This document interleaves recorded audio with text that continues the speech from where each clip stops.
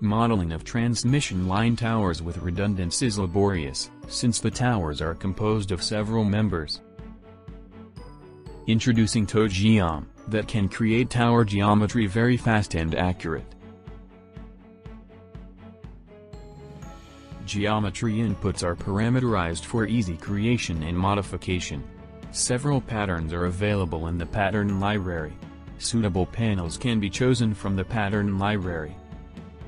Outputs in Excel format can be copied to analysis and design tools like PLS Tower. Output files contain not just geometry information but also design information like effective lengths and curve numbers.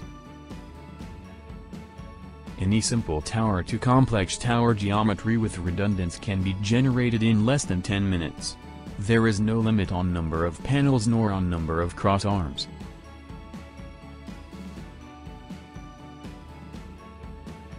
TowGeom generates body wind load calculations, panel-wise tower weight that can be linked to output of PLS tower.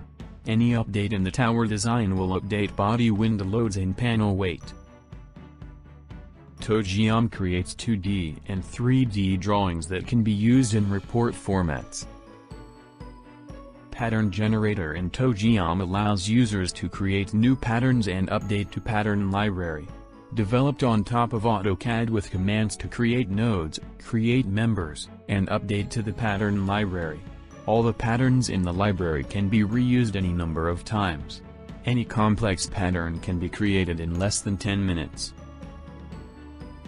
TowGeom can save about 70% of engineers' time that is spent on modeling and design iterations. For more details email to info at degitrans.com.